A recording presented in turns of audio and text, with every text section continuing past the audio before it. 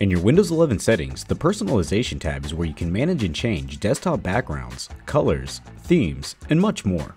At the top of the page, you will see your current desktop theme. On the right, you can quickly apply default themes.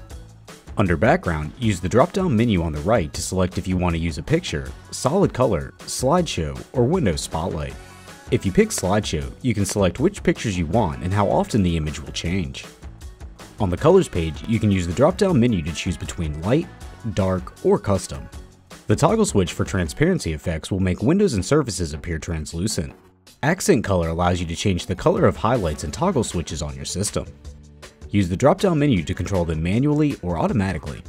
For manual, use the color swatches below to pick your color.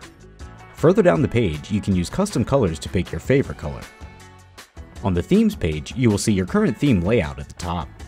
Click the buttons on the right to jump to specific pages to make changes. After you make changes, click the Save button. Under Current Theme, you'll have several default themes or you can browse more themes in the Microsoft Store. Under Lock Screen, similar to changing your desktop, you can use the drop-down menu to change your lock screen to Windows Spotlight, Picture, or Slideshow. If you would like to set an app to show detailed status on your lock screen, you can choose between Weather, Mail, 3D Viewer, Operator Messages, Xbox Console Companion, or Calendar.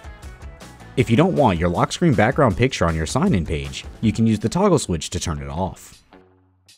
Text input gives you the ability to choose a theme for your touch keyboard and voice typing. Choose a default theme or create a custom one by clicking the plus button at the bottom. Touch Keyboard allows you to change keyboard size and key text size.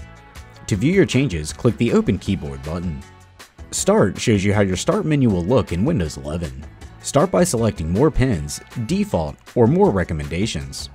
The toggle switches below let you turn on or off, show recently added apps, show most used apps, and show recently opened items in Start, Jump Lists, and File Explorer. Click Folders to choose which folders appear on the Start menu next to the Power button.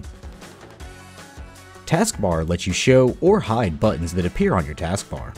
You can also show or hide Pen menu, touch keyboard, or virtual touchpad in your system tray. Fonts will show you all available fonts on your system. If you download a font from the internet, you can drag and drop it on the top of the page to install it to your device. You can also search for fonts in the Microsoft Store. Device usage lets you select the ways you will be using your device to get personalized tips, ads, and recommendations. For more information on your Lenovo devices, visit support.lenovo.com.